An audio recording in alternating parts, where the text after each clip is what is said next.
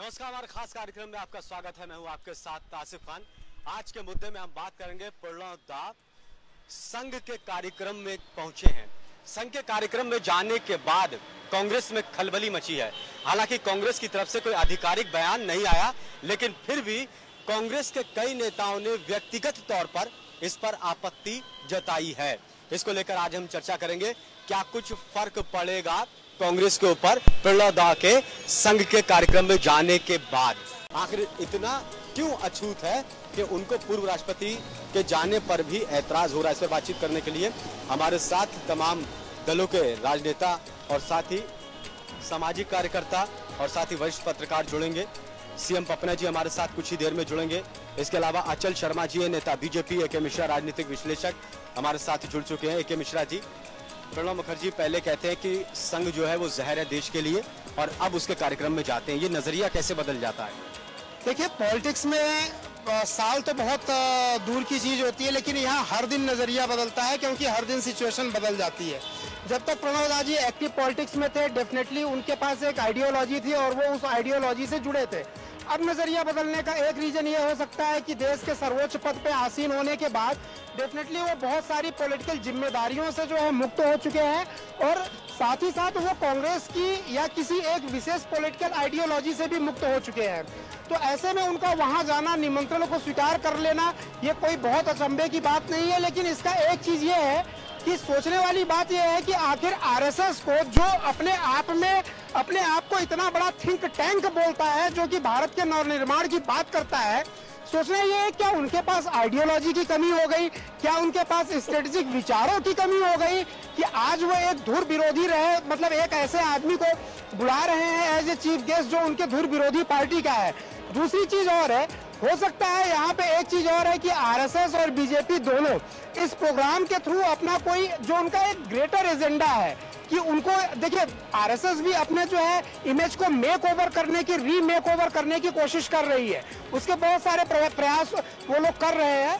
तो इन प्रयासों में एक कड़ी मैं ये भी मानता हूँ कि संघ पूरे समाज को ये मैसेज देना चाहता है कि भाई हमारे लिए सब बराबर है हमारे लिए राजनीति से कोई मतलब नहीं है पक्ष विपक्ष सब एक चीज़ और भी एक चीज़ और भी बीजेपी और संघ के लिए कि राजनीतिक फ़ायदा उठाने के लिए हमें बदनाम या हमें बयान दिया जाता है देखिए हम बुरे नहीं हैं। ये लोग जब राजनीति से नहीं जुड़े तब हमारे पास आसिफ मैंने आपको मैंने आपको यही बोला अभी कुछ महीनों पहले तक संघ की इमेज ऐसी बन रही थी कि ये बीजेपी की ही मतलब बीजेपी इसकी इकाई है और ये बीजेपी के लिए काम करती है। संघ का जो एक ओपिनियन बन रहा था पूरे इंटरनेशनल और नेशनल लेवल पे कि एक खास मुद्दे को लेकर के ही ये लोग चलते हैं।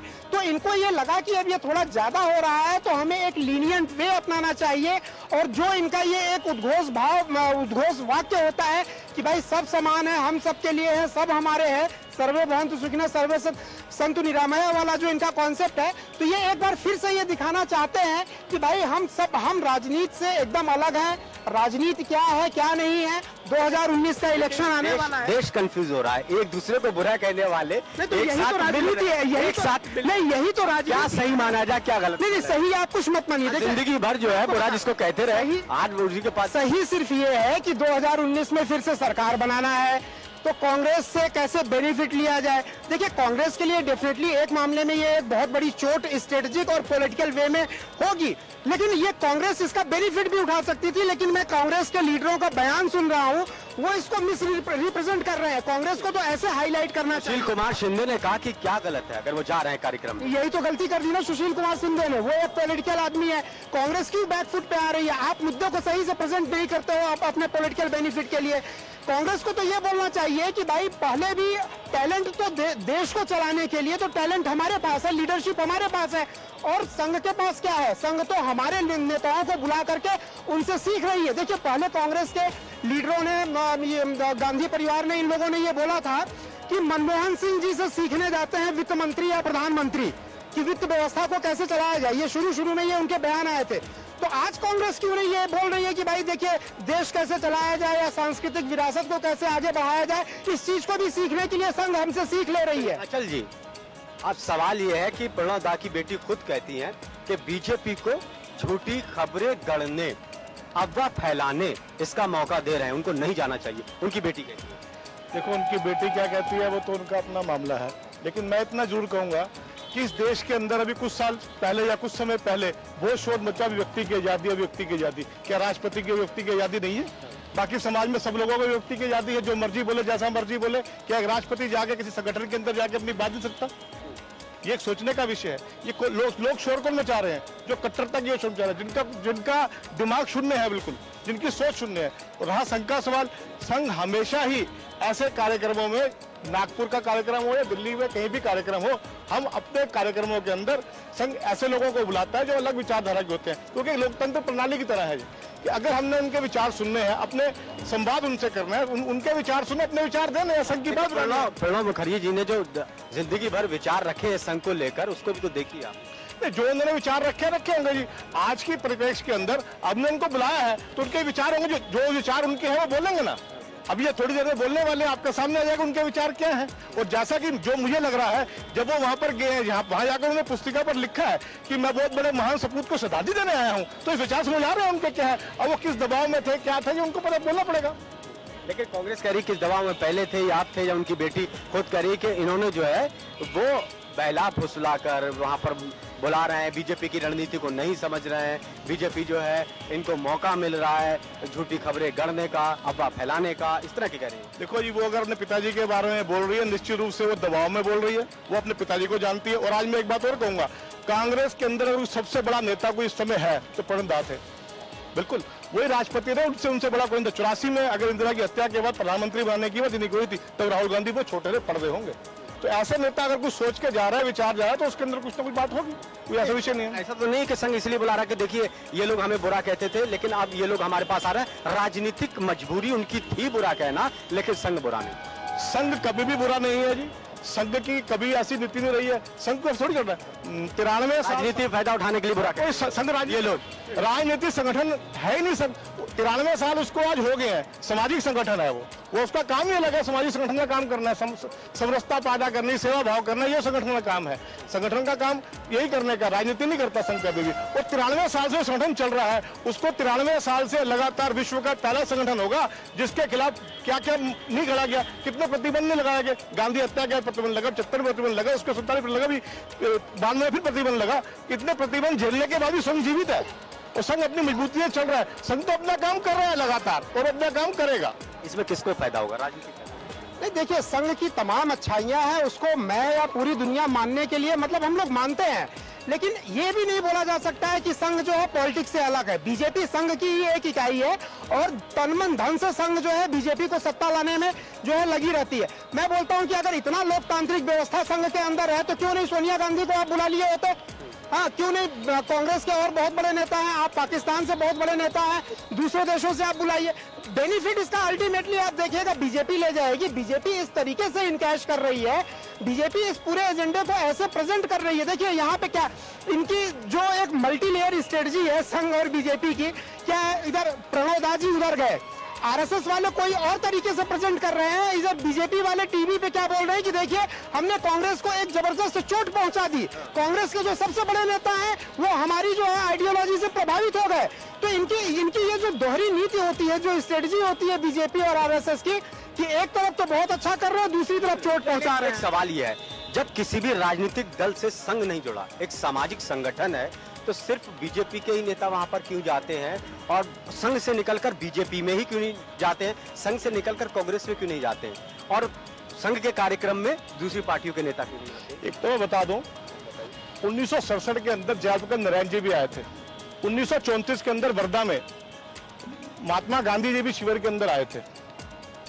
जगजीवन राम बाबू जगजीवन बाबू भी संघ के संगठनों के अंदर कार्यक्रमों के अंदर आए हैं। ऐसा नहीं है कि संघ सिर्फ़ बीजेपी के लोगों को बुलाता है। संघ के अंदर अलग तरह के संगठनों के लोग आते हैं और वो उनका लगभग तरह आना जाना होता ही रहता है। कोई ऐसी नई बात नहीं है। मुझे एक, एक बात और भी याद है। जिस समय केरला के अंदर विवेकानंद स्मारक बना था। माननीय इंदिरा गांधी हमारी प्रधानमंत्री वहाँ गई थी तो माननीय सरसंघ सहसर चालक चालक जी वहाँ पर सहसर कार्यवाजी भी वो वहाँ पर उस कार्यक्रम में उपस्थित थे स्वयं। तब शोर क्यों नहीं मचाया? क्योंकि ये कांग्रेस, तब की कांग्रेस नहीं है। ये राजीव की इटली और सोनिया माँ माँ बेटे ही कांग्रेस है, जो इस तरह का व्यवहार कर रही है। इनको इनको लोकतांत्रिक विषयों की समझ नहीं है। भारत की संस्कृति की समझ नहीं है। केवल और केवल विरोध करना विरोध करना, ये इनका काम है। लेकिन सीएम पपले जी हमारे साथ जुड़ चुके हैं। स्वागत है सीएम पपले जी। किस तरह से देख रहे हैं प्रणव दा के कार्यक्रम में जाने को लेकर? दरअसल ऐसा है कि जिस तरह से कयास लगाए जा रहे हैं कि भाई प्रणवदा के वहाँ जाने से जो है कांग्रेस को भारी नुकसान होगा और आरएसएस को, भाजपा को काफ़ी फ़ायदा होगा। और जिस तरह के तोड़ मरोड़ की बातें पैदा की जा रही है, दरअसल ये एक मतलब राजनीति की दृष्टि से एक अलग अलग अपने दृष्टिकोण है। मेरा मानना यह है कि हमारे तेरहवें राष्ट्रपति प्रणवदा रहे हैं। और एक बहुत सूझबूझ वाले एक अपने नेता रहे कांग्रेस के, और उन्होंने पूरा जीवन देखा है कि किस तरह के समाज को, राष्ट्र को चलाया जा सकता है। क्योंकि जब हमने उन्हें देखा कि वो डिफेंस मिनिस्टर के पद पे रहे वो वित्त मंत्री भी रहे और कई अच्छे अच्छे मंत्रालय भी संभाले हैं। तो देखा गया कि इतनी सूझबूझ उनके अंदर है कि जो आज कयास लगाए जा रहे हैं कि इस तरह की ये चीज़ें हो सकती है दौर एक दौर था कि कांग्रेस के संकट मोचन कहे जाते थे। जब कांग्रेस के ऊपर कोई संकट आता था कांग्रेस सरकार के ऊपर संकट आता था प्रणव दा जो है उस संकट को दूर करते थे। लेकिन क्या आज कांग्रेस के लिए खुद संकट बन गए नहीं ऐसा वहाँ जाने के बाद? बिल्कुल नहीं ऐसा नहीं है। दरअसल ऐसा है कि कयास हम कुछ भी लगा ले। मैं राजनीतिक दृष्टि से मैं भाजपा का हूँ तो मैं भाजपा की बात करूँगा। मैं अगर कांग्रेस का हूँ तो मैं कांग्रेस की बात करूँगा। लेकिन मैं एक निष्पक्ष पत्रकार हूँ तो मैं एक निष्पक्ष पत्रकारिता की ही बात करूँगा। दरअसल प्रणवदा का जो एक अनुभव अनुभव है जिस तरीके से कहा जा रहा है कि आज वो कई चीज़ों को अपना खुलासा करेंगे और कई जगह दुगडुगियाँ पीटी जा रही है कई जगह निराशा पैदा की लेकिन ऐसा होगा नहीं। ऐसा होगा नहीं है न पितुली बात होगी। नहीं होगा। मैंने प्रणवदा को कई बार अपना मैंने उनके अपने व्यूज़ लिए हैं कई बार मैंने उनके साथ मैंने पत्रकारिता की है एक दूसरे बात यह है हमने उनके अंदर एक गुण दृश्य एक देखा है जो राष्ट्रीय एक दृश्य देखा है जो एक समझ उनके अंदर देखी है वो बिल्कुल एक अपरिपूर्ण है उसको कोई जो पूरा नहीं कर सकता चाहे कैश कुछ भी लगाई जाए। लगता है कि इस तरह का बयान आएगा। आसिफ देखिए हमारे यहाँ की जो बोलेंगे ना उससे काफ़ी ज़्यादा मैं आपको बता रहा हूँ मैंने आपको डुअल लेयर की जो स्ट्रेटजी बताई मैं ये मानने के लिए तैयार हूँ कि ये एक गैर राजनीतिक कदम है। संघ बहुत अच्छा है प्रणव दा जी भी बहुत अच्छे हैं। राजनीतिक टूल इसको दिया जा रहा है है नहीं। है क्या? नहीं ये बिल्कुल किया जाएगा क्योंकि 2019 में इलेक्शन है। है नहीं लेकिन दिया जा रहा है यही बात। नहीं, नहीं, ये राजनीतिक टूल, उनकी बेटी ये किया गया देखिए उनकी बेटी इसीलिए कह रही है की आप संघ में चले गए आप व्यक्तिगत तौर पर गए आप राजनीतिक तौर पर नहीं गए लेकिन खबरें झूठी गढ़ने का अथवा फैलाने का मौका दे रहे है बीजेपी। नहीं नहीं, बीजेपी का ये, बीजेपी और संघ का, देखिए 2019 में इलेक्शन है, ठीक है, ऐसी चीज़ें समाज में होती रहनी चाहिए, मैं इसकी प्रशंसा करता हूँ। लेकिन आप पॉलिटिक्स से तो बाज आओ। पॉलिटिक्स से बाज आना नहीं है। देखिए, दो विरोधाभासी काम एक साथ हो रहे हैं। प्रणव दा वहाँ खड़े होकर देश के महानता के बारे में वो बात कर कर रहे होंगे। मुझे पता है वो मैच्योर्ड है। वो देश हित की वहाँ पे बात करेंगे बिना समाज या पॉलिटिक्स से उठ के। लेकिन संघ की जो दूसरी इकाई है राजनीति वाले, वो टीवी पे क्या बोल रहे हैं? तो इसीलिए मैं इसको पॉलिटिकल एम्बुश मानता हूँ। हाँ एक जाल पॉलिटिकल जो ऐसा बिछाना कुछ नहीं बोलेंगे कि किसी भी पार्टी को फ़ायदा मिले और किसी को नुकसान हो। उस जगह जा करके वो एक बड़ा जनरल देश हित देशभक्ति की सर्व समाज के विकास की वो बात करेंगे। वो कोई भी बायस बात न तो वो संघ की एकदम प्रशंसा करेंगे कि आपने हमें इनवाइट किया न बीजेपी या कांग्रेस की बुराई करेंगे। ये पूरा एक सामाजिक माहौल में वहाँ बोला जाएगा। वो चीज़ें हैं लेकिन देखिए ये इतना गजब का पॉलिटिकल एम्बुश है बीजेपी का जिसमें कांग्रेस वाले फिर फिर फंस गए जाल। ये लोग मैन उनकी बेटी खुद कांग्रेस की लीडर है ये बोल रही है। मैं बोलता हूँ उसको ये नहीं बोलना चाहिए था उनकी बेटी को। उनको तो ये बोलना चाहिए था मुझे अपने पिताजी के ऊपर गर्व है कि संघ जैसी सेल्फ क्लेम्ड बॉडी उनको बुला के उनसे शिक्षा ले रही है। लेकिन वो इसलिए नहीं बोल पा रही या हो सकता कांग्रेस के जैसे उन्होंने कहा। स्ट्रेटेजिक मैनेजमेंट लेकिन दबाव नहीं है। हद हो गई। दबाव कैसे किसका किसका दबाव है? संघ का दबाव है। नहीं मोदी जी का दबाव है बीजेपी का। नहीं। कांग्रेस का दबाव होगा प्रवक्ता है दिल्ली दिल्ली कांग्रेस की प्रवक्ता है सर मैं आपको नहीं नहीं आप थोड़ा सा उन्होंने कांग्रेस के कांग्रेस के जो जो सबसे टॉप लीडर है जो सबसे टॉप लीडर है सुशील कुमार शिंदे ने। इसकी सुशील कुमार शिंदे ने इसकी तारीफ़ जो देखिए एक सवाल मैं आऊँगा अभी आऊँगा। एक सवाल ये है उनकी बेटी कहती कि क्या बयान देंगे? सवाल ये है कि प्रणब मुखर्जी जो बयान देंगे उसके आधार पर देखा जाएगा किसकी तारीफ़ करेंगे किसकी बुराई। लेकिन उनकी बेटी ने एक बड़ी अच्छी बात कही। कि बयान को भूल जाया जाएगा एक वक्त में। लेकिन तस्वीर जो होगी कि प्रणब मुखर्जी संघ के कार्यक्रम में गए ये तस्वीर होगी और ये हमेशा याद रखी जाएगी। बिल्कुल आपने बिल्कुल जायज़ बिल्कुल फरमाया है। दरअसल है क्या कि आज मैं कभी टीवी चैनलों के अंदर देख रहा था कि संघ के जो लोग हैं वो अंबेडकर की फ़ोटो जो है स्वयं सेवकों के साथ दिखा रहे थे। जबकि जबकि जबकि पॉलिटिकल बेनिफिट के लिए जबकि है क्या मैं बोल रहा हूँ ना। जबकि है क्या दरअसल ये ये, नहीं था एक दूसरे बात ये है। तो है क्या कि बिल्कुल सर्वे शर्मिष्ठा ने जो कहा है एक्चुअली क्योंकि जो वोमेंस विंग की भी दिल्ली प्रदेश की वो अपना यहाँ पर अपना पूरे अपना हेड है उसकी तो उन्होंने कहा है इस चीज़ को कि कहीं पापा ऐसा ना हो कि ये कल जिस तरह से विचारधारा के लिए लोग हैं जिस तरह भाजपा जो अपना काम कर रही है ये वही अंबेडकर के साथ जो इन्होंने किया है। आगे सिर्फ़ आप खड़े होंगे आप बोल रहे होंगे लेकिन पीछे से पूरी कहानी चल रही होगी कि ऐसा हो गया है एकदम से बात ये ये ऐसा दूरगामी दूरगामी चीज़ है। उस चीज़ का गलत फ़ायदा उठाया शुरू में ये बोल रहा हूँ समाज सेवा, एक रूपता, एक रास्ता के लिए ये प्रोग्राम है तो ये बहुत अच्छा है। मैं इसकी तारीफ़ करता हूँ। लेकिन संघ इसका पॉलिटिकल बेनिफिट लेने से बाज नहीं आएगा, या उनके जो दूसरे अंग है, और ये जानबूझ के बहुत अच्छी तरीके से प्लान की गई स्टोरी है, लेकिन कांग्रेस वाले इसका फ़ायदा नहीं उठा पा रहे वो अपने पैर पे खुद कुलाड़ी मार रहे हैं। कांग्रेस को ऐसे प्रेजेंट करना चाहिए था कि भाई आज बीजेपी और संघ के पास आइडियोलॉजी का अकाल पड़ गया है, इसलिए हमारे इतने बड़े नेता रिटायर्ड नेता को बुला करके वो हमसे सीख ले रहे हैं। लेकिन बीजेपी इसको कह रही है ना बीजेपी कह रही है बीजेपी दूसरी तरफ़ देखिए बीजेपी अपने हिसाब से कह रही है कि संघ में या बीजेपी में कोई बुराई नहीं है।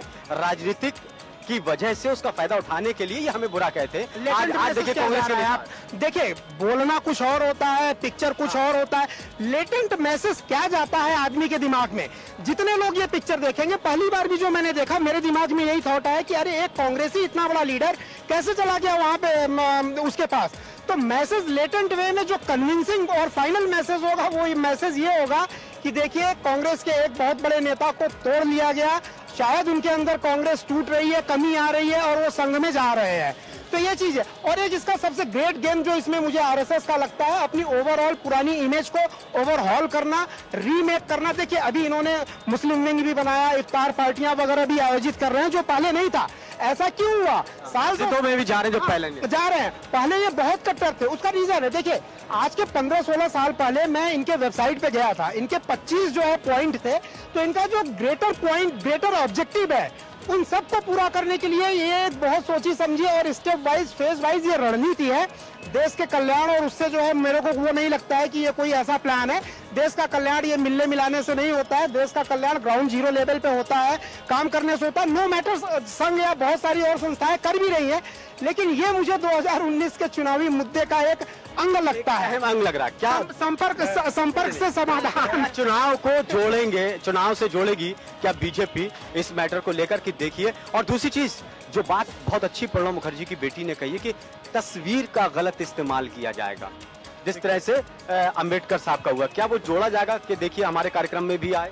देखिए ये बार बार आप जो उनकी बेटी का बार बार नाम ले रहे हैं कि बेटी मुझे लगता है कि घर का सदस्य कहेगा तो बात ज़्यादा भारी होती है। हमारी भी सुनिए ना बेटी है उनकी वो कांग्रेस के कुछ लोग हैं जो शोर मचा रहे हैं। तो जो प्रणदास जिनकी राजनीतिक विरासत इतनी बड़ी है राजनीति करते इतने तक पहुँचे हैं, क्या उनमें अपना दिमाग नहीं है? वो सोच के नहीं गए होंगे? इसका मतलब क्या वो संघ माननीय मोद भावक जी का संघ के किसी अधिकारी के भाव में आ सकते हैं? क्या आप, आप प्रणदास को इतना कमज़ोर समझते हैं क्या? ज़िंदगी बीत गई उनकी कांग्रेस के अंदर समाज को संभालते हुए तो इतने कमज़ोर नहीं है। दूसरा मेरे भाई ने कि संघ क्या अपने आप को ठीक कर रहा होगा? संघ इसका जवाब मैं इसका जवाब दूँ। आपने कहा नहीं नहीं नहीं नहीं बयान जो थे नहीं नहीं जो उनका बयान आएगा वो बड़ा संतुलित होगा। वो किसी की तारीफ़ लेकिन लेकिन इसी बात को लेकर इसी बात को लेकर कहा कि उस तस्वीर का उस कार्यक्रम में जाने की शिरकत का फ़ायदा उठा सकते कौन फ़ायदा उठाएगा जी? कांग्रेस वालों को नुकसान हो रहा है वो शोर मचा रहे हैं हमें कोई दिक्कत नहीं है उसमें उनको लग रहा है नुकसान हो रहा है कांग्रेस का क्या नुकसान? कांग्रेस कांग्रेस?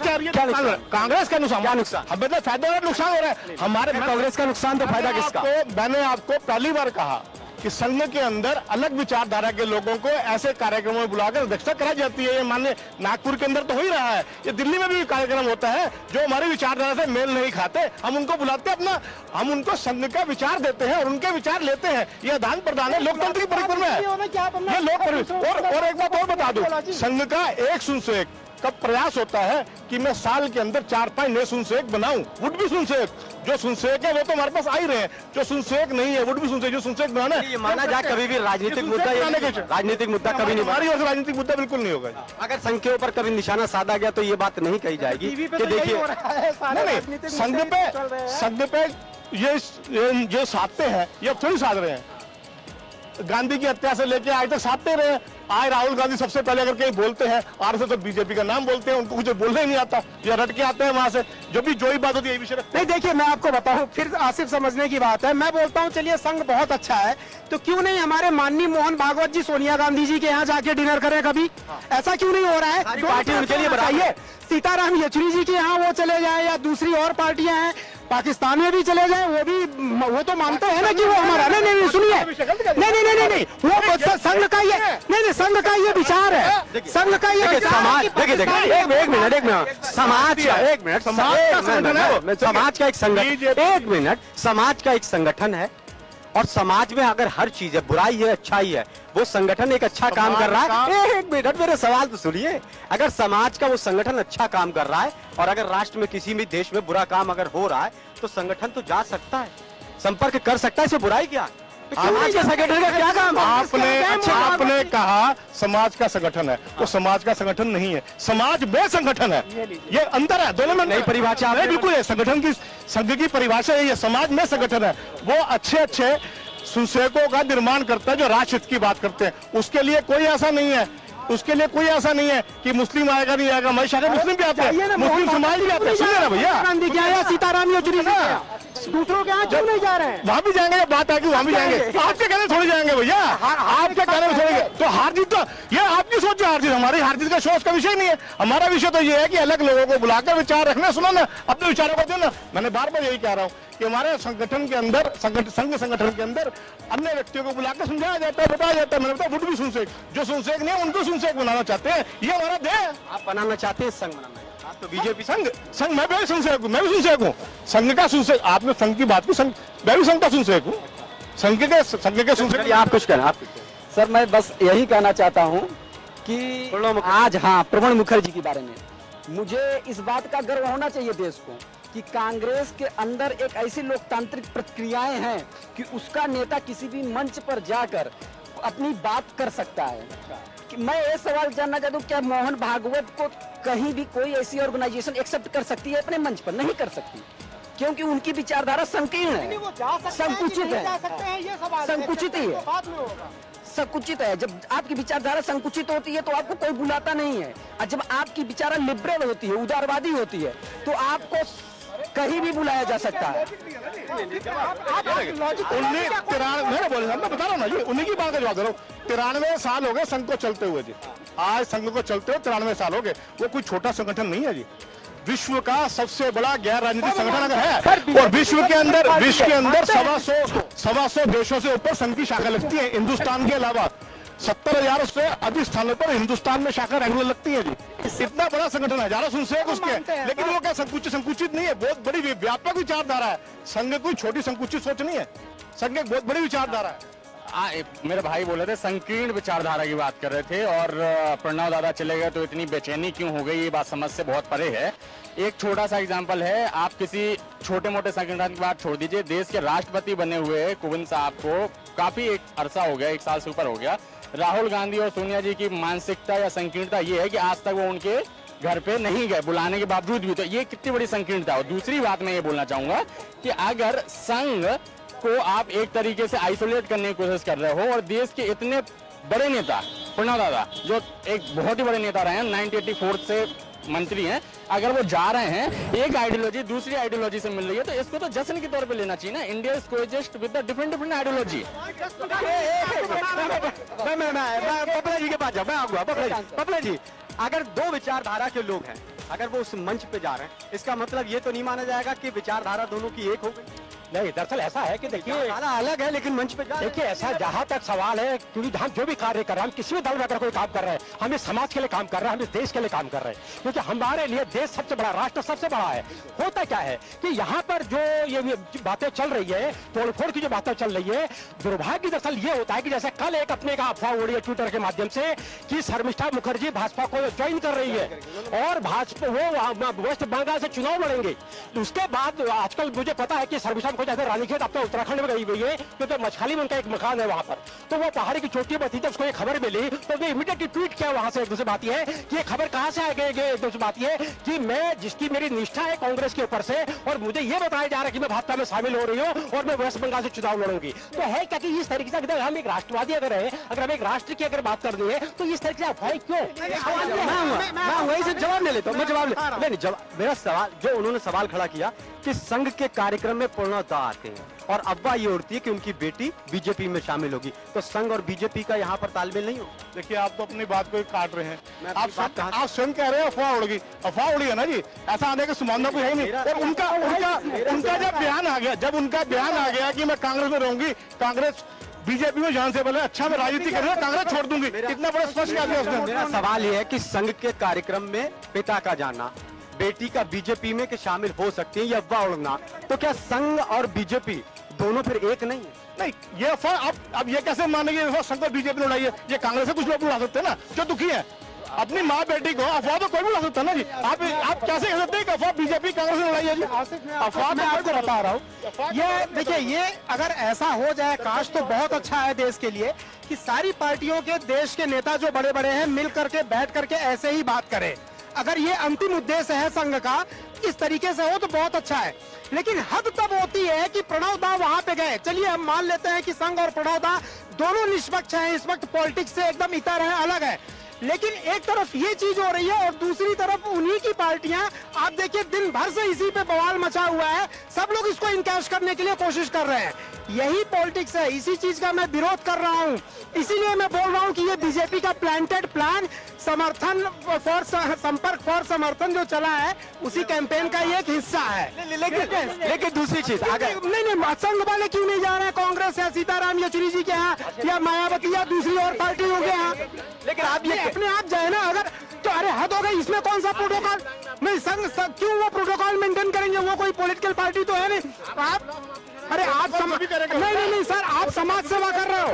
सर गलत गलत डिसीज़न है आप आप आप समाज सेवा कर रहे हो आप समाज सेवा कर रहे हो आप बिना बुलाए कहीं जा सकते हो जहाँ ज़रूरत है। क्षेत्र में कोई एनजीओ है कोई आरटीओ वही प्रोटोकॉल होगी प्रोटोकॉल सबके लिए है। अफवाह की बात कर रहे थे हमारे सीनियर सर एक अफवाह की बात कर रहे थे की एक अफवाह उड़ा दी कि शर्मिष्ठा मुखर्जी भाजपा ज्वाइन कर रही है। शर्मिष्ठा मुखर्जी कोई बड़ी नेता नहीं है आज की डेट में बट पिछले साठ साल से कांग्रेस और संघ विरोधी ये अफवाह फैलाते हैं कि आरएसएस आरक्षण खत्म कर देगी। तो इससे बड़ी अफवाह क्या हो सकती है देश में? इसमें तो किसी ने क्वेश्चन नहीं पूछा, जबकि आरक्षण के लिए हमेशा प्रतिबद्ध है। मोदी जी बोलते हैं, मेरी जान चली जाएगी, आरक्षण नहीं हटने दूँगा। तो इस पर क्यों नहीं आंसर देते हैं ये लोग? देखिए इसमें आरक्षण और उसका मन है इसमें दो परिपेय अफवाह की बात नहीं। अफवाह अफवाह की बात नहीं। सवाल ये रहे कि प्रवण दा के जाने से हम लोग हैरत में हैं कि इस बात पे इस पे बात चर्चा नहीं होनी चाहिए कि प्रवण दा वहाँ क्यों जा रहे हैं। प्रवण दा जा रहे हैं अपनी ओपिनियन रखेंगे। सवाल उनसे होनी चाहिए प्रवण दा से कि आप पहले संघ को विरोधी बताते थे। और आज आप इस मंच पे आए हैं तो आप किस परिप्रेक्ष्य में आए हैं? ये सवाल उनसे होना चाहिए। उनसे उनसे सवाल जब किया गया उन्होंने कहा कि मैं जब जाकर वहाँ पर बयान दूँगा तो बयान को सुन। हाँ तो अब फिर वो उन्होंने कहा अभी कुछ नहीं बोला। हाँ तो, तो बोल रहे थे। तो परिप्रेक्ष्य। और इसमें दोनों दो लोग जो समान विचारधारा के नहीं है हाँ। क्या एक मंच पर नहीं आ सकते? और एक मंच पर आ गए तो कैसे मान लिया जाए कि उनकी विचारधारा एक हो गई? नहीं विचारधारा नहीं है एक सोची सोचने का तरीका अलग है। ये लोकतंत्र की खूबी है। एक लोग ये लोकतंत्र की खूबी है या संघ की? या? ये लोकतंत्र की खूबी है। संघ की संघ- संघ- आप इसको आप इसको संघ की खूबी कहें लेकिन लोकतंत्र की खूबी है कि अपना संवाद कहीं पर भी रख के दूसरे विरोधी भी आपको संवाद कर सकते हैं। संजय संजय गुप्ता जी हमारे साथ नेता कांग्रेस जुड़ चुके हैं। स्वागत है उसका। संजय जी आपके कुछ नेता कहते हैं कि चले गए तो क्या बुराई है? व्यक्तिगत इनका फैसला है। सुशील कुमार शिंदे कहते कुछ नेता बुराई करते आपको क्या दुख है वहाँ जाना? व्यक्तिगत उनका ये नहीं देखिए मैं ये कहना चाहता हूँ कि हाँ, प्रणब मुखर्जी जी इन सब चीज़ों से बहुत ऊपर है। देश के राष्ट्रपति रहे हैं। और वो इन सब पार्टी पॉलिटिक्स से और सभी चीज़ों से ऊपर रहे हैं। सभी पार्टियों के ना होकर के पूरे देश के राष्ट्रपति रहे हैं। और मैं समझता हूँ कि एक सिर्फ़ इतनी सी बात है, कांग्रेस की तरफ़ से एक जो हम, हमारी सोच है, हम ये चाहते हैं पूरे जीवन वो हमारे कांग्रेस के नेता रहे हैं। तो एक कहीं बात मन में ये तो ज़रूर आती है कि जैसे आरएसएस जो संगठन है, हालाँकि गैर राजनीतिक है, मगर उसके बावजूद भी वो जो कार्य करता है, वो कांग्रेस के विरोध में काम करता है। तो जरा सी इस बात को लेके मगर हुआ पो तो है मगर हम उसको सुनना है सुनेंगे कि उनके क्या विचार है वो जाकर वहाँ क्या बात करते हैं ये एक बार आ जाता है। तो मैं समझता हूँ उसके बाद टिप्पणी करना इसके ऊपर ठीक रहेगा। मगर कोई अगर अगर देश के संस्थापक की उन्होंने अच्छी खासी तारीफ़। की मैं आपसे बात कर रहा हूँ कि अच्छा कार्य किसी भी माता के महान उन्होंने कहा कि अच्छे कार्य कहीं पर भी कहीं अरे भैया सुन लो ना दो मिनट यार। अच्छी बात है कोई भी आदमी कोई भी संस्था कर सकती है, ऐसा ज़रूरी नहीं है कि अगर कोई आरएसएस अगर कार्य कर रही है तो सारे कार्य गलत करती होगी, ये तो कभी नहीं कहा गया। और उनके किन्हीं कार्यों की अगर प्रणब मुखर्जी साहब अगर तारीफ़ करते हैं तो इसमें कोई इतराज नहीं है। और हम हम हम जो कांग्रेस के लोग हैं, खुले दिमाग के लोग हैं, खुले विचारों के लोग हैं, हमारे लिए किसी के लिए, हमारे मन में रिजर्वेशन नहीं है। मगर हम ये कहना चाहते हैं कि कोई कार्य अगर उनके अच्छे हैं, आरएसएस के, और हमारे पूर्व राष्ट्रपति रहे प्रणब मुखर्जी जी, अगर उनकी जाके तारीफ़ भी करना चाहें तो हम अभी पहले सुन लें फिर उसके ऊपर टिप्पणी करेंगे। कांग्रेस असहज क्यों महसूस कर रही है? नहीं असहज इसलिए कर रहे हैं कि क्योंकि वो हमारे कांग्रेस पटेल जी कहते कि मैं तो नहीं जाता। नहीं हमारे विरोधी संगठन है। नहीं उनकी विचारधारा जो रही है सांप्रदायिकता के नज़दीक रही है आरएसएस और उसके विचार जो रहे हैं धर्म के धर्म के प्रति उनके उनके विचार हमारे से भिन्न है और उनकी सोच अलग है हमारी सोच अलग है। तो ये कारण है असहज हो जाने का। मगर एक बार उनके उनके उनके विचार सुने। फिर मैं समझता हूँ उसके ऊपर टिप्पणी करना ज़्यादा अच्छा रहेगा। देखिए, मेरे भाई ने कहा कि संघ कांग्रेस का विरोधी है। मेरे तो लगता नहीं कि संघ कांग्रेस का विरोधी है। संघ किसी का विरोधी नहीं है। संघ हर उसका विरोधी है। जो हिंदुस्तान के अंदर विरोधी काम करता है चाहे वो हिंदू हो चाहे वो मुस्लिम हो। जो राष्ट्रवादी काम होंगे उसके लिए उसके लिए संघ हमेशा काम करेगा जी। उसके अंदर कोई भी देगा। लेकिन संघ ने कभी भी ना मुस्लिम का विरोध किया है ना किसी अन्य लोगों का विरोध किया है। अगर इन्होंने कांग्रेस ने विरोधी की बात की है तो एक सैतालीस से पहले सैतालीस से पहले जिस समय कश्मीर वाला मुद्दा आया कश्मीर को बचाने के सुनिए सुनिए। आपको बीच में रोक रहा हूँ माफ़ी के साथ। बीच में दर्शक कह रहे हैं कि सर्टिफिकेट ये क्या संघ देगा? कि? कौन देश हित में काम कर रहा है और कौन देश के खिलाफ ये संघ नहीं देगा। ये संघ नहीं देगा जी। संघ संघ सिर्फ़ कौन तय करेगा? ये जो कट्टर सोच है ना ये कट्टर लोग बोलते हैं। ये तो तय कौन करेगी ना जी? पब्लिक तय करेगी ना जी? लेकिन हम तो मानते हैं ना जी कि अगर हमारे को लगा कि ये व्यक्ति सही नहीं है छोड़ेंगे। इसमें शंका का विषय नहीं। संघ ने हर उसका विरोध करेगा संघ। हर उस हर उस व्यक्ति का विरोध करेगा जो माँ भारती के खिलाफ बोलेगा। हर उसका विरोध करेगा जो इस, इस देश के पुण्य को कांग्रेस का देश के खिलाफ काम कर मैंने तो नहीं कहा। मैंने तो नहीं कहा उन्होंने कहा कांग्रेस मैं बताता हूँ सर मैं बताता हूँ सर संघ के विषय पे जो भाई साहब इतने महिमा मंडन कर रहे हैं मैं बताता हूँ। संघ संघ संघ वो है जो गोडसे को मानते हैं। और हम हम कांग्रेस वो हैं जो महात्मा गांधी को मानते हैं। और महात्मा गांधी के विचारों की हत्या करने वाले लोग आज बात कर रहे हैं कि हमारे अंदर हम किसी का बुरा नहीं करना चाहते। इससे ज़्यादा आप बुरा क्या करेंगे? आपने देश के नेता और देश के बाप का जो आपने आपने हत्या की ये गौरसे के लोग ये संघ के लोग हमारी विचारधारा इसलिए इनके विरोध में है। और ये हमारे विरोधी नहीं है ये देश विरोधी है। ये नाम तो माँ भारती का लेते हैं। इनकी माँ भारती अलग है। ये देश के झंडे को नहीं मानते। ये देश के राष्ट्रीय गान को नहीं मानते। इन्होंने पचास साल तक कभी अपने यहाँ झंडा नहीं लगाया। और गौर से गौर से के उपासक गौडसे का मंदिर बनाने वाले ये राष्ट्रीय स्वयं सेवक के अपने आप को महिमा मंडित करते हैं। इनको मैं कहता हूँ इनको स्थान नहीं होना चाहिए। ये सांप्रदायिक लोग हैं। ये ये ये इतनी मतलब आरएसएस के बारे में इतनी नफरत क्यों है कांग्रेसियों के मन में? ये समझ नहीं आता। मतलब इतना विचलित हो जाना समझ नहीं आता। आज आरएसएस में आज 1925 से लेके 2018 तक 2018 तक 2018 तक एक व्यक्ति एक व्यक्ति एक व्यक्ति गौड से मुर्दाबाद कहिए गौड से मुर्दाबाद। गौड से मुर्दाबाद गौड से मुर्दाबाद। सुनिए जी संघ ने संघ ने कभी भी गोडसे की तारीफ़ नहीं की है जी। संघ ने कभी भी गोडसे की तारीफ़ नहीं की है।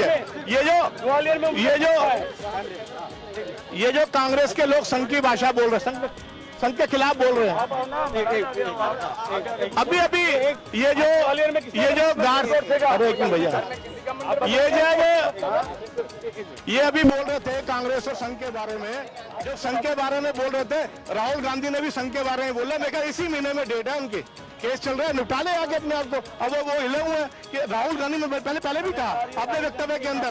तो राहुल गांधी आसिफ आसिफ देखिए, मैंने आपको शुरू में ही बोला था, सारी सारी चीज़ें बहुत अच्छी हैं, लेकिन अगर ये बात केवल प्रणव दाजी और संघ तक रहती, लेकिन अब है क्या? अपने अपने हिसाब से परसेप्शन को डेवलप करना, बातों को फैलाना, सारी पार्टियों ने शुरू कर दिया।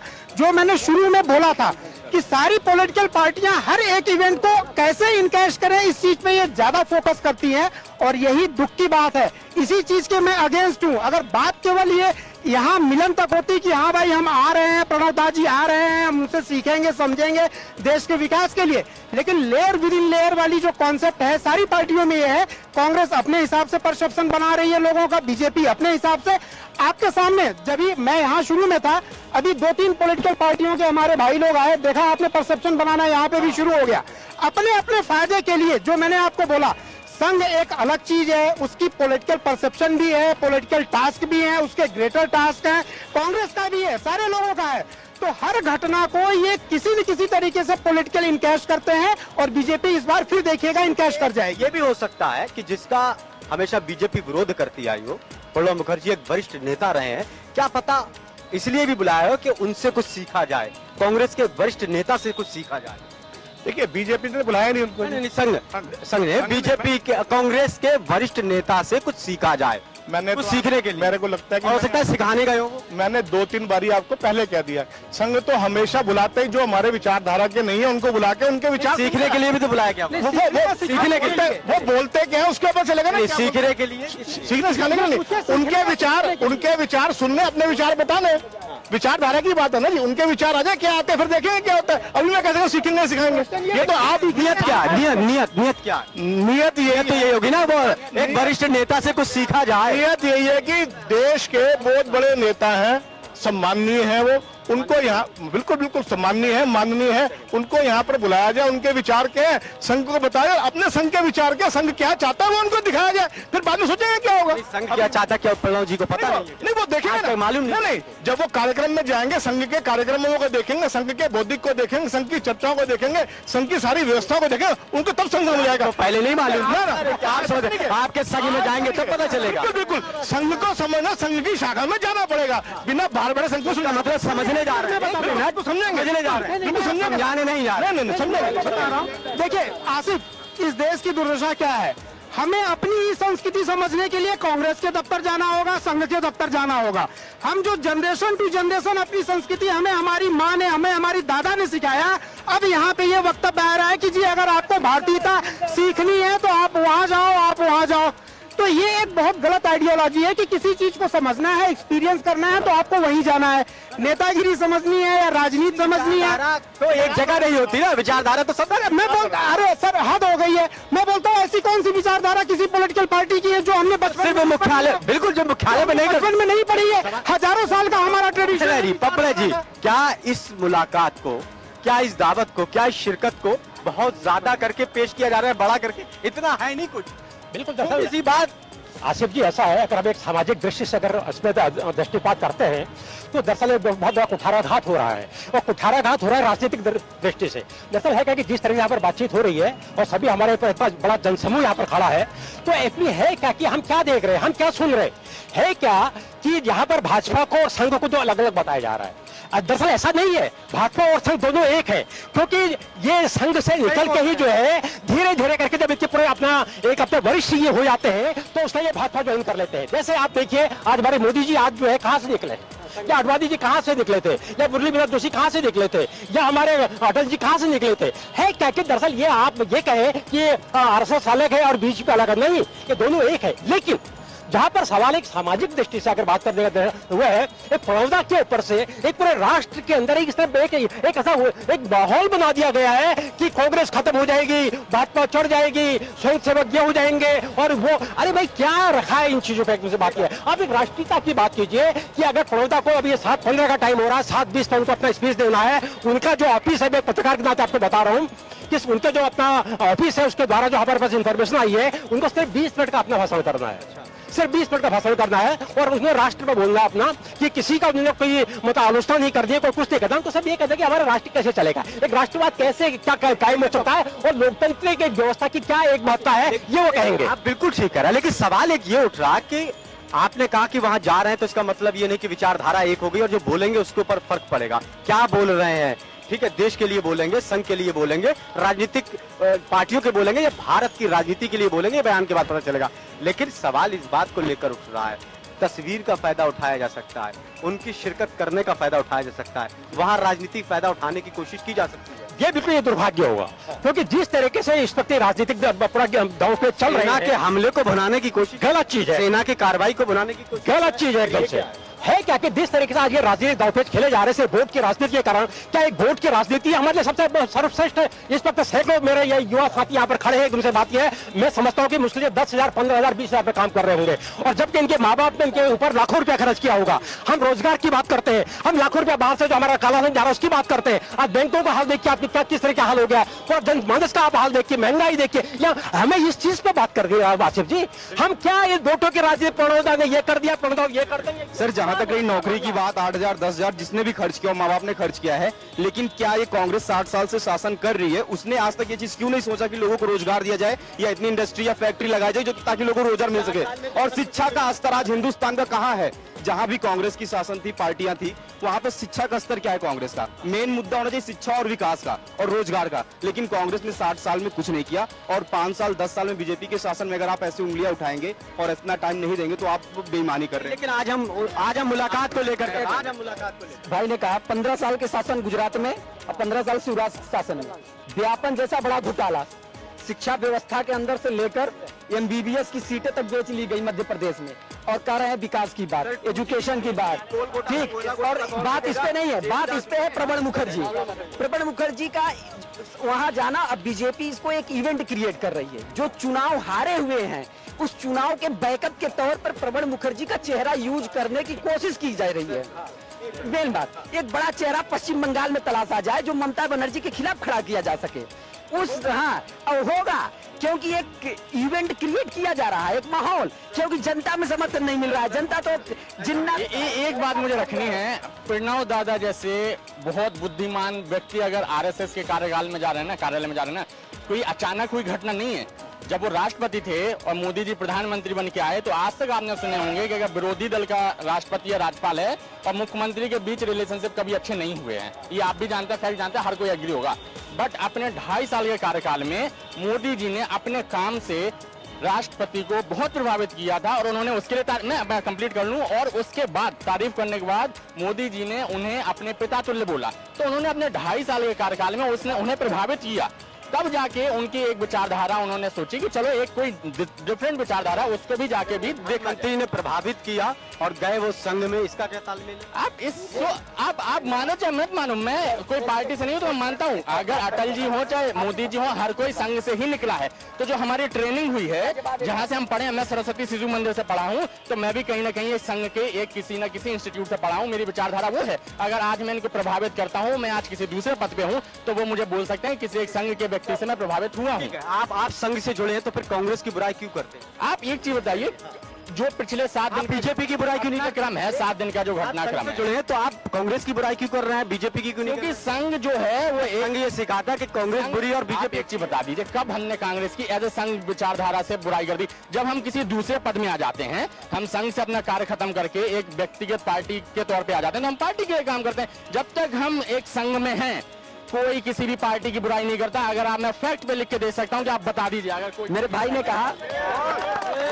मेरे भाई ने कहा कहा कि राष्ट्रपति के तौर पर कभी इन्होंने बताया कि राष्ट्रपति और मुख्यमंत्री या राष्ट्रपति प्रधानमंत्री के बनने जब अलग अलग पार्टियों के लोग रहते तो बनती नहीं है। तो ये मान रहे हैं कि कांग्रेस का राष्ट्रपति निष्पक्ष होता है और बीजेपी द्वारा नियुक्त राष्ट्रपति संजय जी संजय जी को लेकर संजय जी। देखिए भाई साहब इसके अंदर मैं ये कहना चाहता हूँ कि जिस तरह से आरएसएस ने आज उनको इनवाइट किया है, मैं समझता हूँ आज के इस परिप्रेक्ष्य के अंदर आरएसएस संगठन को भी उन विचारों की आवश्यकता है कि जो कि धर्मनिरपेक्ष रहे हैं।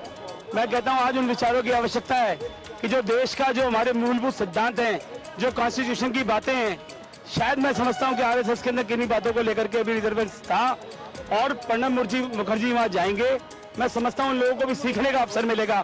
उन्हें मालूम चलेगा कि इस देश की भावना जो है, वह हिंदू, मुस्लिम, सिख, ईसाई आपस में है भाई भाई और जो इनके अंदर रिजर्वेंस है मुसलमानों के खिलाफ, जो इनके अंदर रिजर्वेंस है दलितों के खिलाफ, या आरक्षण के खिलाफ जो आरएसएस के अंदर एक रिजर्वेंस है, मैं समझता हूँ अगर प्रणब दा जैसे लोग वहाँ जाएँगे, उनको भी सदबुद्धि आएगी, अच्छी चीज़ें सीखने को मिलेगी। मैं ये कहना चाहता हूँ, मगर ये भारतीय जनता पार्टी और आरएसएस के लोग इसका फ़ायदा उठाना चाहते हैं। वो ये दिखाना चाहते हैं कि प्रणब दा हमारे पास आए हैं तो उनकी विचारधारा पलट गई। नहीं, प्रणब दा के विचारों से उनकी जो विचार है, उनका शुद्धिकरण होगा, ये मैं कहना चाहता हूँ। धन्यवाद। ये मेरे भाई ने संविधान की बात करी है। मुझे तो हँसी आ रही थी भाई की संविधान की बात देखे जिसने पिचहत्तर में इमरजेंसी लगा दी। जिसने चौरासी के अंदर सिखों को कत्लेआम कर दिया। जिसने बानवे बार देश के अंदर राष्ट्रपति शासन लगा दिया। 102 बार संविधान का संशोधन कर दिया। शाहबानो केस के अंदर पूरे देश को बदल बदल के रख दिया। वो संविधान की बात करते हैं, वो लोकतंत्र की बात करते हैं। ये कांग्रेस में पूछना चाहिए, लोकतंत्र क्या है, संविधान क्या है? जिसके अंदर राहुल गांधी जाता है और कागज़ फाड़ के फेंक देता है, मैं इसको मानता नहीं हूँ। ये लोकतंत्र की बात करते हैं। किस किस लोकतंत्र की बात करते हैं कांग्रेस के अंदर? नहीं, आसिफ, देखिए, मैं आपको बता रहा हूँ, अगर देश के परिप्रेक्ष्य में देखा जाए, जैसे अभी ये भाई साहब बोल रहे थे किसी ने विकास नहीं किया। देखिए, विकास कम ज़्यादा करके अपने अपने हिसाब से सारी पार्टियों के टाइम पे हुआ है। और मैं इस चीज़ को भी एक्सेप्ट करता हूँ कि सारी पार्टियों में अच्छाइयाँ, बुराइयाँ हैं, भ्रष्टाचार, विकास, अच्छी बुरी चीज़ें हुई है। ये राजनीतिक पार्टी के ये नेता लोग हैं। मैंने आपको बोला, छोटी से छोटी चीज़ों पे ये लोग इनकैश करेंगे। बीजेपी इस मामले में बहुत स्ट्रांग है, कांग्रेस पीछे जा रही है। बीजेपी संघ भले करे या ना करे, संघ का एक परिप्रेक्ष्य मुझे यहाँ ये नज़र आता है कि थोड़ा सा बदलते हुए माहौल में वो अपनी इमेज को मेक ओवर करना चाहती है, बदलना चाहती है कि हम ब्रॉडर लेवल पे दूसरे लोगों को भी एक्सेप्ट करते हैं, अपने विरोधियों को भी एक्सेप्ट करते हैं। ये एक संघ का स्ट्रेटजिक गेम प्लान है। बीजेपी इसका ज़बरदस्त फ़ायदा उठाएगी। कांग्रेस मैं जो टीवी देख रहा था कि कांग्रेस बैकफुट पे है, वो उसको ठीक से प्रेजेंट नहीं कर पा रहे हैं डिफेंड नहीं कर पा रहे हैं। कहीं ना कहीं इसका राजनीतिक बेनिफिट भी पहले से लिया जाना है, वो तय है और इन सारी चीज़ों का वो बंदोबस्त ऑलरेडी आप देख रहे हो, टीवी पे है। क्या नुकसान और क्या फ़ायदा है इसको लेकर प्रणोदा जो पहुँच रहे हैं संघ के कार्यक्रम दरअसल ऐसा है कि नुकसान और फ़ायदे का जहाँ तक सवाल है मैं ये दिख रहा है आपको लग रहा मैं बिल्कुल ये नहीं समझता इस तरीके से ये सारे कोई नुकसान और फ़ायदे की बातें हैं कि फड़ौदा जो आज अभी सात बीस में जो अपनी बात रखेंगे बीस मिनट की वो अपने आप में एक विशेष होगी और मैं समझता हूँ कि शायद वो इतिहास में वो, वो चीज़ें दर्ज होगी। दूसरा है क्या कि जहाँ तक सवाल है भाजपा और कांग्रेस का दरअसल ये अपने राजनीतिक अपने संघ के बारे में संगठन के बारे में कहेंगे ऐसा लगता है कि जैसे देश के बारे में। नहीं बिल्कुल नहीं वो वो राष्ट्र राज वो राष्ट्रवाद के बारे में बारे में कहेंगे और पूरे राष्ट्र की जनता को बताएँगे कि राष्ट्र को किस तरीके से हमें आगे बढ़ना है किस तरह के विकास के पथ पर इसको अग्रसर करना है। नहीं नहीं इसका मैं आपको बताता हूँ, आसिफ, इसका बहुत ग्रेटर इम्पैक्ट पड़ेगा। आज के बाद से जितने टीवी डिबेट होंगे दो महीने तक, देखिएगा बीजेपी का हर स्पोर्ट पर्सन कांग्रेस को बैकफुट पे लाएगा, ये बोल के कि भाई, फिर क्यों गए प्रणब दा जी? अगर आप इतनी अपनी पार्टी से समर्थित थे, आपकी आइडियोलॉजी थी, कहीं ना कहीं कमी थे ना। मैं वही बोल रहा हूँ जो ग्रेटर गेम प्लान है पॉलिटिकल व्यू से अगर आप ये देखें 2000 हाँ जो पोस्टरिंग है जो लेटेंट वे में मैसेज को जो है प्लांट किया जाना है 2019 के इलेक्शन के पहले लोगों के दिमाग में और संघ का जो अपना रीमेक ओवर करना है पूरी इमेज का वो ये सारा जो है बहुत अच्छी तरीके से ये स्ट्रेटजी हाँ। आपका क्वेश्चन पूछे फिर मैं जवाब देता हूँ। क्या क्या फ़ायदा होगा इसको? क्या नुकसान होगा राजनीति प्रणव दा के मैं, मैं इसका इसका फ़ायदा सिर्फ़ आरएसएस को इतना होगा क्योंकि जो भाषण देंगे वो भाषण को बुला दिया जाएगा। जो फ़ोटो ली जाएँगी वो फ़ोटो आने वाले जो चुनाव में उसको दिखाया जाएगा कि ये देखिए आपके जो गद्दावर नेता थे राजीव गांधी इंदिरा गांधी इनके साथ जो उन्होंने संघ को गाली दी। हमारे हमारे कांग्रेसियों को मैं मीडिया से ये कहना चाह रहा हूँ अभी प्रणब जी आरएसएस के प्रोग्राम के चले गई। उसकी वजह से आप लोग इतना डिबेट कर रहे हैं इतना बात कर रहे हैं। आप लोग एक चीज़ सभी अभी भी समझा नहीं है। इंडिया का प्रधानमंत्री है प्रेसिडेंट है वाइस प्रेसिडेंट है तीनों आरएसएस से आया हूँ। उन लोग अभी भी राजनीति कर रहा हूँ। तो उसको उस संगठन में एक प्रोग्राम के लिए हमारा पिछले अ, प्र, प्र, हमारा प्रेसिडेंट गए थे। उसमें क्या गलत है? आपको क्या गलत दिख रहा है उसमें? बिल्कुल सवाल तो यही है कि गलत तो कुछ नहीं है। गलत गलत उनके जाने में कुछ गलत नहीं है। गलत तब हो जाता है जब पॉलिटिकल पार्टीज़ उसका गलत फ़ायदा उठाना शुरू करती है। यही तो मैं बोल रहा हूँ ना। मैं बोलता हूँ अगर कुछ नहीं है तो क्यों बीजेपी के सारे प्रवक्ता कांग्रेस के प्रवक्ता अभी टीवी पे लगे हैं और दो महीने तक टीवी पे इसी चीज़ को इनकैश करेंगे? गलत यहाँ से हो रहा है। और इसीलिए मैं बोलता हूँ कि ये प्लांटेड स्टोरी है। बहुत सोची सोची समझे। रणनीति के तहत ये चीज़ बनाई गई है। सीधी सर जो कह रहे हैं, गलत, जाना गलत नहीं है। बात यह है ना कि आज जो दो दिन से मीडिया भूमिका बना रही है, एक तरह से गोदी मीडिया जिसे कहते हैं। वो एक तरह से भूमिका बनाई जा रही है कि अच्छा अब हार के बाद अब देखो फिर से बीजेपी आ रही है। अब ये प्रमणदा जी के साथ देखो जिस प्रमणदा जी को कांग्रेस ने ये कर दिया प्रधानमंत्री नहीं बनाया अब ये संघ के शरण में है। तो एक तरह की जो हेडलाइन के साथ मीडिया दिखाना चाहती है ना दिखाना चाह रहे हैं कि टीस जो उनके दिल में हाँ, थी कांग्रेस को हाँ। लेकर। बेसिक मुद्दों से जिस मुद्दे पर जनता ने कैराना का वोट के प्रणब मुखर्जी के मुद्दे पे लाना चाह रही है मीडिया? आ, ये इनकी बातें सुन के ऐसा आज अगर प्रणब मुखर्जी खुद देखेंगे ना तो वो तो वो खुद ही अपने आप को इतना छोटा महसूस करेंगे कि इनके कार्यकर्ता जिनके लिए उन्होंने इतना काम किया, आज ये किसी प्रोग्राम में जाने से उनके बारे में ऐसी ऐसी बातें करना स्टार्ट कर दी तो ये खुद अपनी पार्टी को नुकसान पहुँचा रहे हैं। अगर किसी के प्रोग्राम में जाना गलत है, मनीषंकर रैया पाकिस्तान में जा सकते हैं, वो गलत नहीं है, उसके लिए ये लोग नहीं बोलेंगे बट प्रणव दादा अगर आरएसएस के कार्यालय में एक बार चले जाए तो इसके लिए दिक्कत, अरे वो भी एक देश का इंस्टीट्यूट है, वहाँ पे चले गए, वो किसी के ज़बरदस्ती से तो गए नहीं होंगे। कहीं ना कहीं किसी विचारधारा से किसी बात से सहमत हुए होंगे तभी गए हैं तो वो फ़ोटो में मत जाइए वो बाकी ही हमारी विचारधारा से कहीं ना कहीं आए होंगे सहमत होंगे तभी फ़ायदा उठाने की कोशिश अगर वो हमारी विचारधारा से सहमत हैं तो जो हमारी विचारधारा से सहमत कैसे करो क्या पता क्या मालूम कि प्रणब मुखर्जी की विचारधारा उससे सहमत हुई? दोनों की विचारधारा एक दूसरे के करीब आई होगी। आप पता नहीं उनकी विचारधारा कैसे कैसे विचारधारा कैसे बदल गई? कैसे पता तो आप ये वो मैंने आंसर दिया था उसका जो पिछले तीन साल में एक संघ के व्यक्ति के एक व्यक्ति एक जो संघ के व्यक्ति मैं जो विचारधारा की बात हो रही है मोदी जी यहाँ पे पाकिस्तान के प्रधानमंत्री को जो है इनके बर्थडे पर जो बधाई देने के लिए आते हैं। विचारधारा एक हो गई विचारधारा एक हो गई क्या? दरअसल ये नहीं है। अगर ये जिस तरीके से यहाँ जिस तरीके से यहाँ चर्चा चल रही है जो चर्चा चल रही वोटों की राजनीति की यहाँ का यहाँ का जन आज के समय मैं ये समझता हूँ कि आज आज के समय में फजीयत कितनी हुई? लेकिन विपक्ष को मौका मिल गया। ना कहने का। ऐसे कह- कहने का मौका मिल अगर आज वोट अगर 2019 का जहाँ तक सवाल अगर वोटें पड़ेंगे एक बेरोजगार किसको वोट देगा? वो खुद समझता है। अगर एक किसान अगर सवाल किया कि जब प्रधानमंत्री नरेंद्र मोदी आप अगर बर्थडे में पहुँचते तो विचारधारा एक जैसी नहीं होगी। नहीं होगी ना वो तो उनको प्रणब मुखर्जी कैसे तो हम क्या कह रहे होगी जी? हमने तो कहा ही नहीं, मैं तो अभी भी यही कह रहा हूँ कि प्रणब मुखर्जी की अलग विचारधारा है, हमारी अलग संघ की संगठन, संघ की अलग विचारधारा है, संघ की अलग विचारधारा है। वो अपनी विचारधारा में रखेंगे उनको रखने दो। ये जो मुझे लग रहा है कि इतना बड़ा इतना बड़ा मोबाइल उठा रखा है आपने, इतना बड़ा मोबाइल मीडिया ने उठा रखा है। ये मीडिया का कहा हुआ है, मीडिया शो मचा रहा है इसके अंदर। प्रणब मुखर्जी जा रहे हो सुनने दो, बोल क्या रहे हैं? उनकी पहले बातें तो बाहर आन दो, कहना क्या चाहते हैं? वो भी तो वो कुछ हुआ नहीं, पिंड बसा नहीं, पहले वाली बातें हो रही है। नहीं नहीं, बातें, देखिए, ऐसा कोई बहुत इनोवेटिव चीज़ वो नहीं बोलेंगे वहाँ पे। वो मैंने आपको पहले बोला, वो नॉन पॉलिटिकल उनका स्टेटमेंट होगा और बात वहाँ देश की होगी, सभी के हित की बात होगी ग्रोथ की बात होगी। तो उसमें तो कुछ सोचना ही नहीं है। सवाल सिर्फ़ और सिर्फ़ यहाँ पे ये है, मैं ये बोलता हूँ कि अगर ये चीज़ संघ की अगर ये विचारधारा है तो संघ को अपने लिए भी ये करना चाहिए। संघ के बड़े बड़े नेता भी दूसरी पार्टियों के पास जाएँ। संघ जब दूसरी पार्टी के लोग बुलाएँ तो संघ के बड़े बड़े नेता भी वहाँ पे जाएँ। ऐसा क्यों नहीं हो रहा है? हम समरसता तो सब समझेंगे। जब ये दोनों तरफ़ से ये चीज़ें हो केवल एक तरफ़ से ना हो प्रॉब्लम सिर्फ़ ये है कि हर छोटी से छोटी चीज़ों का जो पॉलिटिकल बेनिफिट सारी पॉलिटिकल पार्टियाँ केवल बीजेपी नहीं जो उठाना जब मौका मिलता है सब उठाते हैं। कांग्रेस सपा बसपा छोटी छोटी चीज़ों का उठाते हैं। प्रधानमंत्री नरेंद्र मोदी बर्थडे में क्या गलत कर? गलत क्या क्या कर? नहीं वो विपक्ष वाले आरोप मैं आपको बताऊँ आप आ, किसके बर्थडे की बात कर रहे हैं जो पाकिस्तान में पाकिस्तान, हाँ। बि- बिना बुलावे पे। देखिए वो एक इंटरनेशनल मुद्दा है और ये नेशनल है। आप अपने देश में तो कहीं जा सकते हो। मैं आपके घर जा सकता हूँ बिना बुलाए आप मेरे भाई हो आप मेरे भाई हो।